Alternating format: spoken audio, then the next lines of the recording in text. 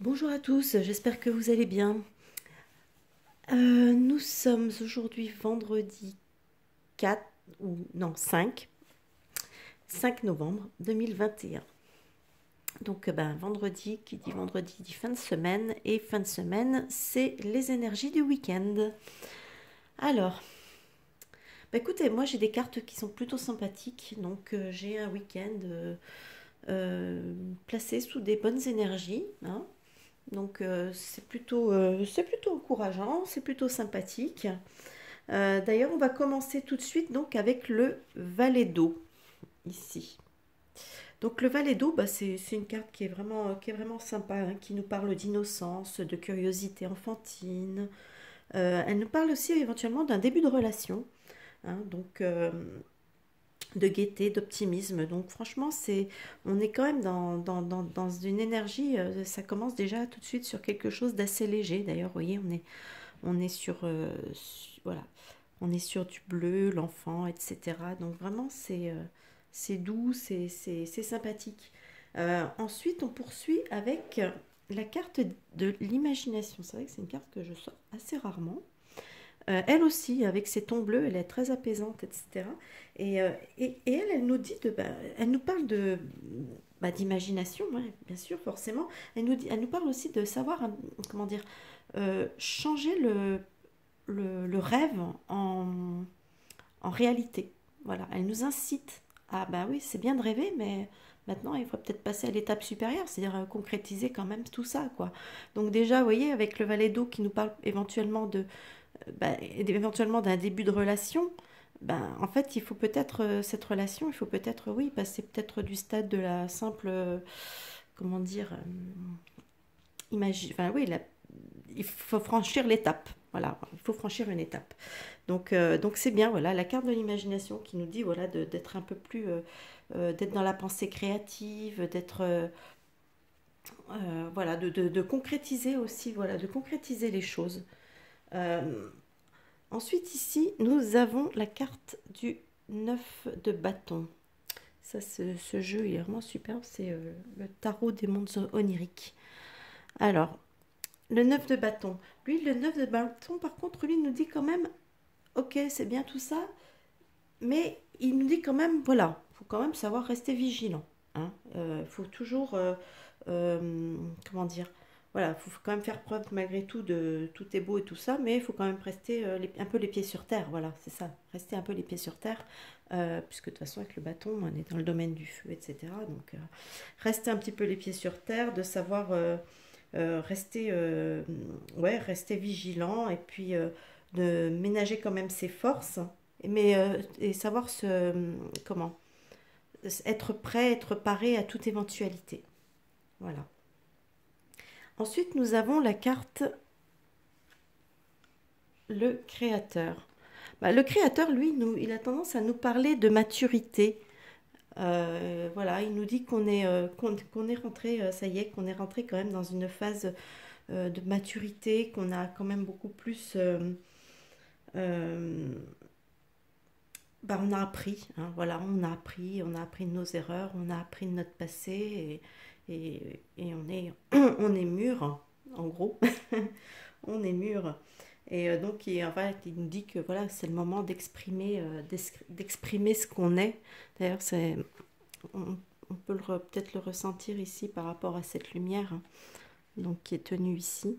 Je crois que c'est. Euh, je suis pas très calée sur les chakras, mais je crois que c'est pas le c'est un chakra, je crois, c'est solaire. Ici, il me semble. Je ne veux pas dire de bêtises. Euh, ensuite, nous avons le... Euh, ça, c'est l'oracle du marcheur de papier qui nous parle du don de soi. Et là, on nous dit que, ben oui, que d'être quand même ouais, dans la générosité, euh, dans... Comment dire Ouais, c'est ça, de, le don de soi, c'est ça, c'est d'être généreux, hein, savoir être généreux, être savoir oh, comment s'offrir peut-être pas non plus, j'irai pas jusque là quand même. Hein. Euh, mais c'est vrai que ouais, ça nous parle quand même voilà, de, générosité euh, dans, le sens, euh, dans le sens général du terme. Hein. On ne parle pas que de générosité matérielle, attention. Hein. On parle aussi de générosité de cœur, de, choses comme ça. Hein. Donc voilà, faut pas. C'est vrai que il faut pas toujours dans, dans le justement dans, le matériel. Il y a aussi tout, toute cette partie immatérielle, on va dire. D'ailleurs, justement, en parlant de générosité, ici nous avons l'oracle des murmures de Ganesh qui nous a sorti la carte de la prospérité. Voilà, et donc cette carte de la prospérité, c'est pareil, hein. elle nous dit qu'on a la capacité de manifester euh, euh, la prospérité dans, notre vie au quotidien. On parle aussi bien d'une prospérité qui peut être matérielle comme immatérielle, plutôt dans les sentiments, etc. Je veux dire, c'est voilà, c'est pas que, euh, on est bien sûr qu'on n'est pas que dans le matériel. Hein. Ensuite, on a un message des guides qui nous dit raison d'être et maître enseignant. Ben, vous voyez, on voit un personnage avec son bouquet qui, part sur la route, qui a l'air de qui a l'air d'aller d'un pas décidé euh, offrir ses fleurs. Donc euh, en fait, ça nous parle de, ça nous parle simplement de, de, fiabilité, de fidélité, hein. euh, voilà, de, quelque chose. Cette flèche, hein, quand même, ça, ça peut évoquer, c'est vrai, le, quelque chose de régulier, une constance, quelque chose comme ça, voyez. Donc, donc voilà, on nous invite, le message des guides pour ce week-end, c'est constance, fidélité, fiabilité, etc. Et on va finir comme d'habitude avec un message de Jésus qui nous dit Ne jugez point afin que vous ne soyez point jugés. Voilà, comme je le dis, hein, on a personne n'a propre. Et donc, euh, ben, c'est parti, c'est facile de porter des jugements sur les autres, mais des fois, il faut savoir se regarder soi-même. Voilà. Bah écoutez, euh, moi, je vous souhaite un bon visionnage. Euh, j'espère que ces énergies vous auront boosté pour le week-end, hein, parce que je trouve qu'elles sont plutôt sympas, franchement. Euh, et puis, euh, n'hésitez pas à laisser les petits pouces vers le haut, à laisser des commentaires aussi, c'est sympa.